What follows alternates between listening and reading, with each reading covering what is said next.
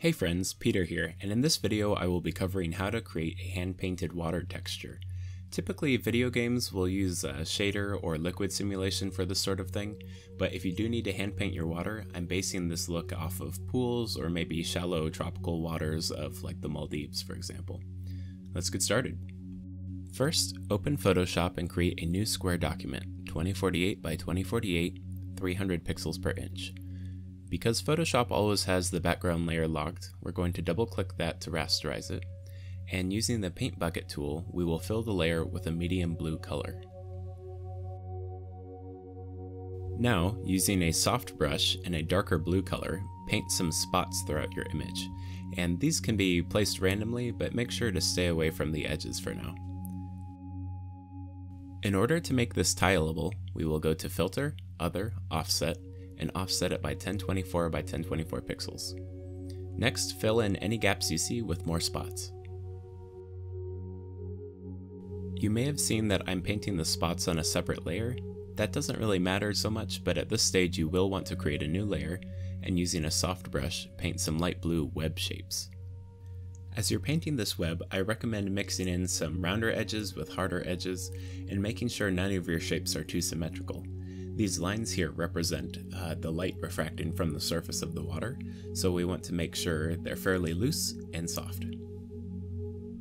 We definitely want to offset the image again to check our seams, and uh, an easy hotkey to do this is Alt Control F. So that actually just repeats the last action we've done, and since the last thing we've done should have been the, um, the offset, that'll repeat the process quickly for you. So you can use that hotkey to switch back and forth and paint over your seams.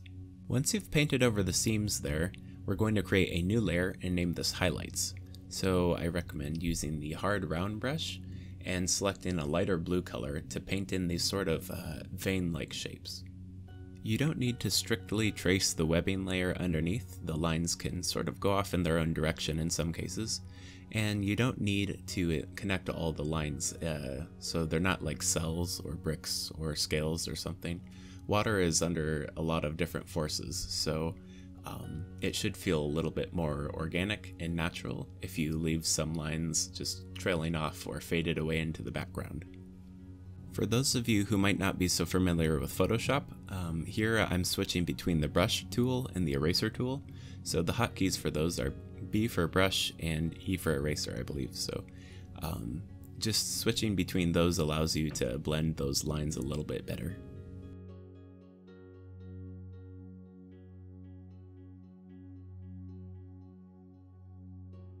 While you're working on the highlights, offset the layer so you can see any seams or areas that are lacking detail, and go in and fix those. If you want to see the entire image though uh, properly, since we have multiple layers, you'll need to offset each individual one. That's unfortunately just the way Photoshop is. Um, I personally like uh, I like working on several layers because if I mess up with the highlights or I mess up with the web, I can just go back in and erase or tweak that individual layer. But if you're confident with your skills, then you can actually just work on one layer. That's totally up to you.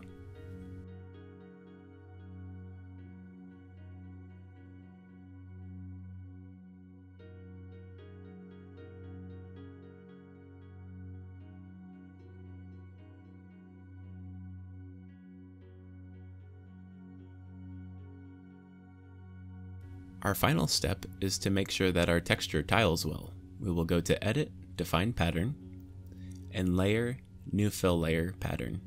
And this will pop up a little menu here. And if you change that 100% to something lower, like 50%, you'll see our texture repeat. And there you go. There is a tileable hand-painted water texture. As always, please let me know if you have any questions, recommendations, or requests in the comments below, and thank you so much for watching. Until next time.